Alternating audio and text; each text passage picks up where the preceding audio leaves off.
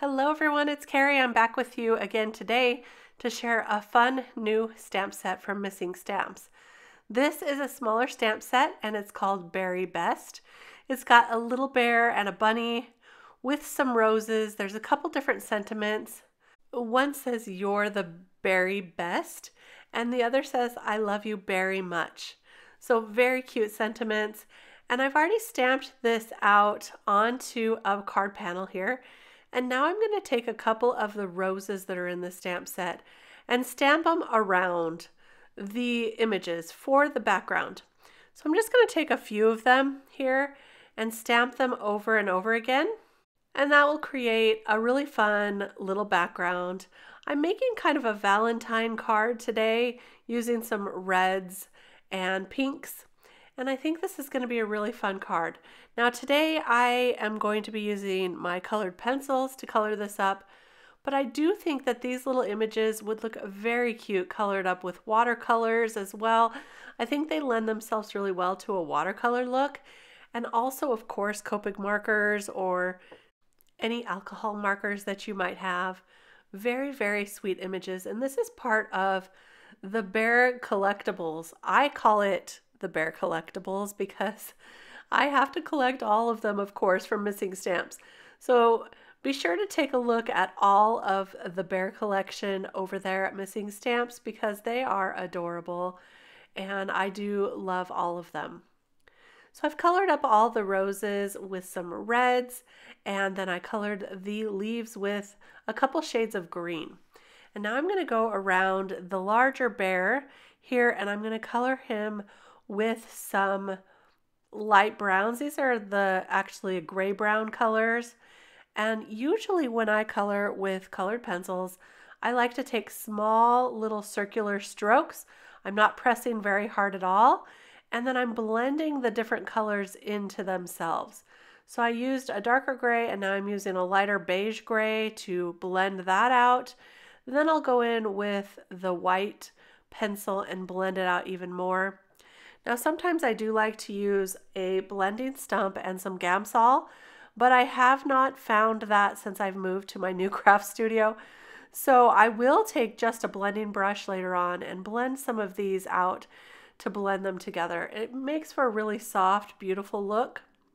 For the bunny today, I'm going to use some shades of brown and we'll color him up a little darker than the bear. So they do have a little bit of a difference. So I'm using a darker brown and using those same circular motions to color around the bunny. Then I'll blend that out with a lighter brown and then I'll use my blending stump to soften the look.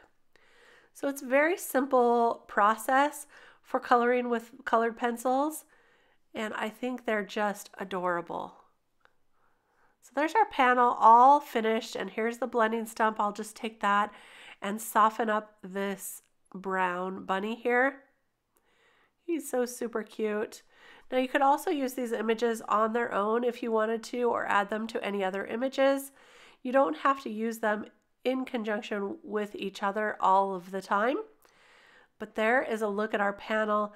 Now I'm taking the EIEIO frame die and the alphabet die that they all come together. I love these alpha frame die combinations because you can do a really lot with them.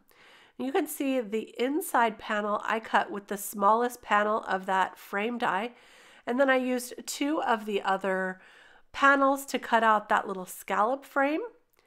Now I've cut out the XOXO from the alphabet set in the same frame die and I'm coloring them up with some Distress ink in Lumberjack Plaid, just doing kind of a light red XOXO, and I've white heat embossed the sentiment from the stamp set that says, I love you very much.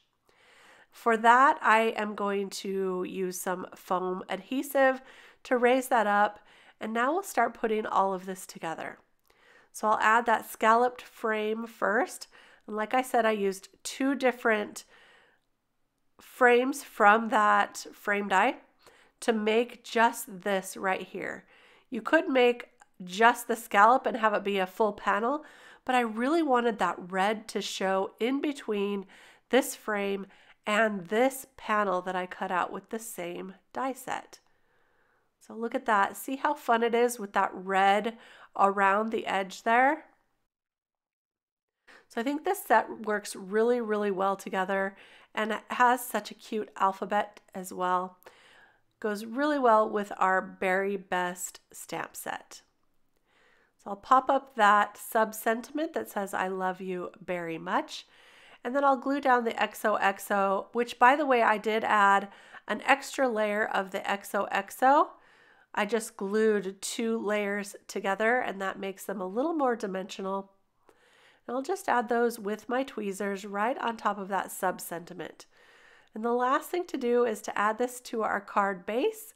I'm just using some liquid adhesive and look what an easy card this was to put together with such cute little images.